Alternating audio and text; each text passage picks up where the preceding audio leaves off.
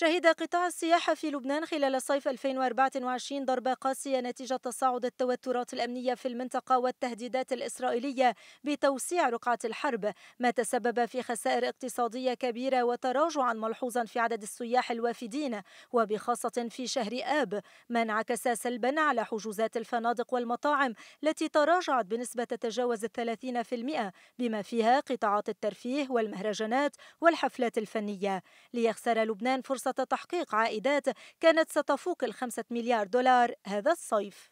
كل التوقعات الإيجابية المتفائلة اللي كانت قائمة على موسم واعد مع الأسف آه، سقطت بسبب نحن اللي أنا بسميه بلبنان الحرب التهويلية أو الحرب النفسية. لذلك كان عندنا نوعين من الخسارة الخسارة الواقعة من التجهيزات والترتيبات وكل الأمور اللي كانت معمولة لاستقبال صيف واعد.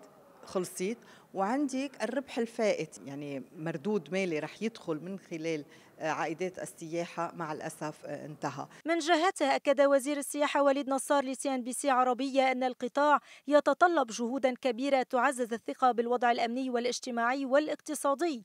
من هذا المنطلق تم مؤخرا إطلاق السياحة الطبية بهدف تنويع مصادر الدخل وجذب المغتربين. أول ست أشهر من السنة عدد الوافدين أو حركة مطار بيروت مطار رفيق الحريري كانت بواحد بالألف أقل من سنة 2023 بشهر سبعة الاعتداء الإسرائيلي اللي صار على بيروت على الضاحية الجنوبية غيرت كل المقاييس وصار في كتير كانسليشن آه، آه، صار في كتير سواح جايين على لبنان لغيوا سفراتهم.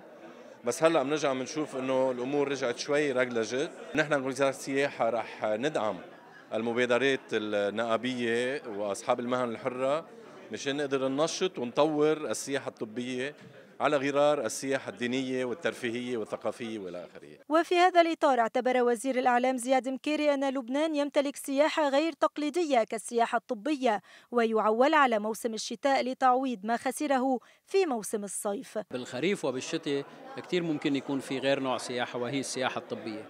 نحن هون بنعول أكيد على القطاع الطبي بشكل خاص يلي هو أكيد بعد انفجار بيروت وبعد الانهيار الاقتصادي آه، صار طبعا يعني في مشكل كبير بالهجرة والنزف يلي صار برات البلد.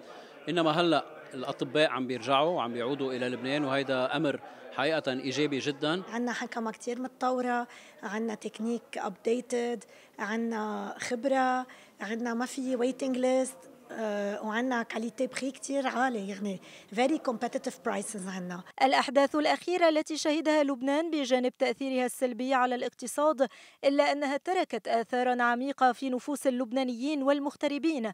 وللتعافي من هذه الأزمة لابد من بذل جهود مشتركة من الحكومة والقطاع الخاص والمجتمع المدني لتحقيق الاستقرار والتنمية المستدامة. بعد أن توقع البنك الدولي أن يسجل لبنان نموا بنسبة 0.5% خلال العام الحالي تم تعديلها إلى ما بعد العام 2024 نتيجة عدم اليقين وكثرة التحديات الأمنية والسياسية التي تعصف بالبلاد ما سيؤدي إلى تراجع عائدات السياحة وبالتالي انخفاض في الناتج المحلي الإجمالي.